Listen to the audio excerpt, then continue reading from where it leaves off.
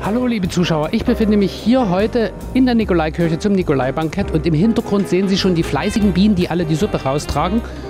Und da war, glaube ich, Frau Strenz und der Küchenchef vom Rheinsdorfer Krug und mal sehen, wer eigentlich noch mitläuft. Das war eine ganz normale Kellnerin, aber auch sie hat die Hände voll. Wieso können die eigentlich nur zwei Suppen tragen? Naja gut, Nikolaibankett, was ich Ihnen noch sagen wollte, dieses Geld fließt zu guten Zwecken in die Kirche. Davon berichten wir. Und jetzt schauen wir mal, was unsere Kellner und Hilfskellner alles so drauf haben.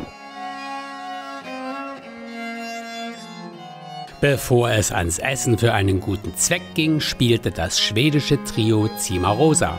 Werke aus dem 16. Jahrhundert. Die Klänge kamen von restaurierten Instrumenten aus jener Zeit.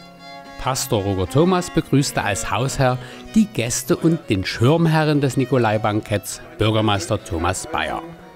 Dieser sprach beeindruckt von dem Engagement der beteiligten Gäste, Organisatoren und Sponsoren. Thomas Agerholm, Geschäftsführer der HW Leasing GmbH und Initiator des Bankettes, dankte den Gästen und Beteiligten und lud dem Bankettthema entsprechend vor das Epitaph von Schabel.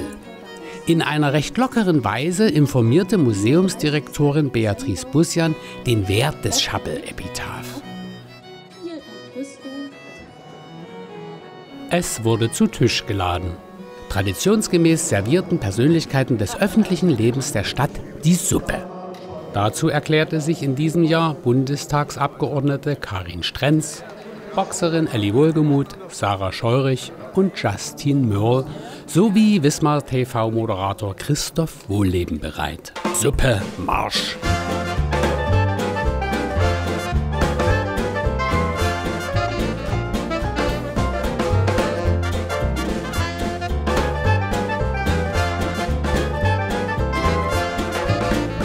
So, jetzt bin ich ein bisschen die Produktionsbremse. Christoph, wie oft hast du schon gekellnert? Noch nie, muss ich zugeben. Ich habe zwar eine eigene Schürze mitgebracht, aber das habe ich einmal gemacht bei der Abi-Feier der Klasse über mir und danach ging diese Schürze in den Schrank und ich habe lieber für die Zeitung geschrieben im Studium, als dass ich gekellnert habe.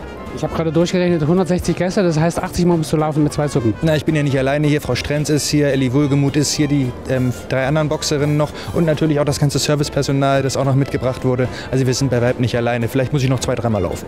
Gut, dann versuchen wir mal und nicht die Finger verbrühen und toll, toll, toll. Ja, vor allem Zunge gerade halten, ne? Genau.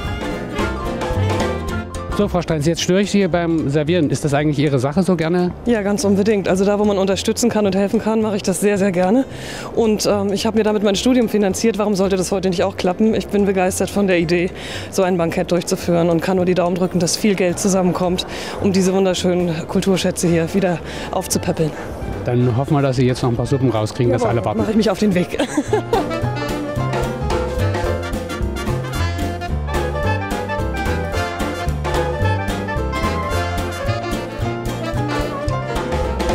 Jetzt ist der Tschech wieder die Produktionsbremse. Sarah, wie ist das so mit Kellnern für dich?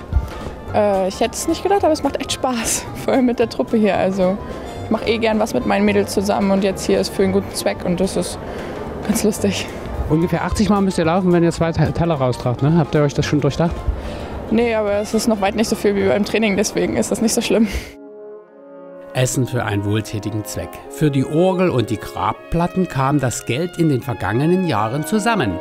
Nun soll das Chapel-Epitaph restauriert werden. Und dafür benötigt man ja bekanntlich Geld. Herr Agerholm, entschuldigen Sie, dass ich Sie beim Essen störe. Wie sind Sie im Moment mit dem Bankett zufrieden? Also ich finde es unheimlich toll. Äh, wir haben für 160 Personen heute Abend eingedeckt und äh, ich habe gehört, wir mussten noch ein paar Stühle zusätzlich aufstellen, weil wir so einen Zulauf haben. Das ist eine ganz tolle Sache.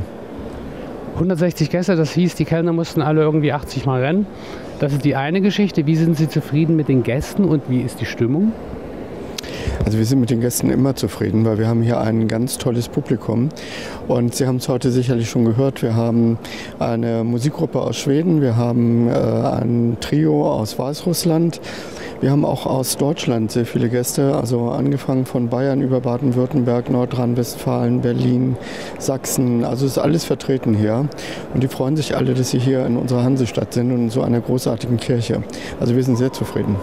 Wenn Sie jetzt München sagen als Beispiel, das hatten Sie vorhin schon, wie kommen Sie an die Leute ran? Betteln Sie die, dass sie mal hierher kommen und Wismar gern haben oder wie kriegen Sie das hin? Ja, ich stehe da immer auf dem Marktplatz und verteile Zettel. Nein, wir haben natürlich äh, entsprechende Einladungen ausgesprochen äh, an Personen, die teilweise auch unserem Haus nahestehen und von denen wir wissen, dass sie an so einer Veranstaltung gerne einmal teilnehmen würden. Dann danke ich Ihnen und wünsche Ihnen heute noch guten Appetit. Vielen Dank. Wenn ein Essen nicht nur den Hunger stillt, sondern ein wertvolles Zeitdokument der Stadt erhält, dann kann man den Veranstaltern nur gratulieren. Letztendlich kamen 6000 Euro am Freitag zusammen. Ein guter Anfang, denn 61.000 Euro wird die Restaurierung beanspruchen.